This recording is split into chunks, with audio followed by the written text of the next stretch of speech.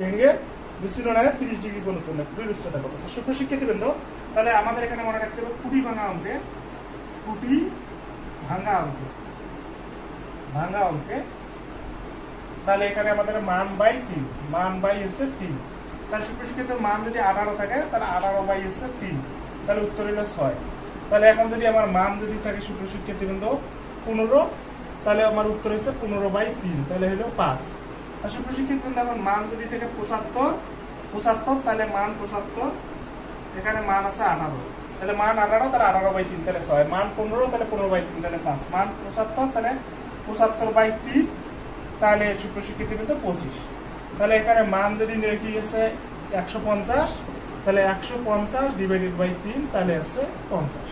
তা সুপ্র শিক্ষিত কিন্তু কুটি ভাঙা অঙ্ককে চোখ বন্ধ করে শুধু আমরা তিন দ্বারা ভাগ করব। তাহলে যা যা থাকবে তার তিন দ্বারা ভাগ করলে উত্তর।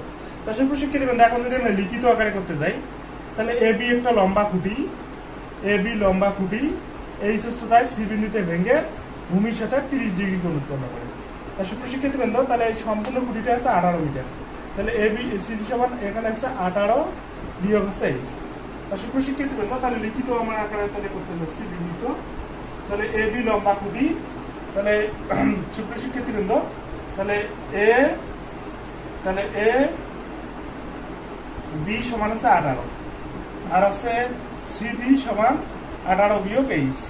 তাহলে সুপ্রশিক্ষিত লম্ব বাই অতিভুজ থেকে আমরা করব সাইন। তাহলে সাইন তিরিশ ডিগ্রি সমান লম্ব বাই হচ্ছে অতিভুজ। লম্ব বাই হচ্ছে অতিভুজ।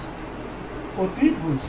তা সুপ্রশিক্ষিত বন্ধু তাহলে লম্বের মান হচ্ছে যে সিবি আর অতিভুজের হচ্ছে এটা হচ্ছে ডি। তো সুপ্রশিক্ষিত বন্ধু সিডি তাহলে সুপ্রশিক্ষিত বন্ধু এটার মান হচ্ছে হাফ, আর এটার মান হচ্ছে এইচ আর আঠারো বিয়োগ এইচ। তা সুপ্রশিক্ষিত বন্ধু তাহলে টু এইচ সমান আঠারো বিয়োগ এইচ বা টু এইচ প্লাস এইচ সমান আছে আঠারো বা থ্রি এইচ সমান আঠারো, তাহলে বা এইচ সমান আছে আঠারো বা তিন। তাহলে আসলে ছয়। তা সুপ্রশিক্ষিত বন্ধু আর একবার বুঝে দিচ্ছি।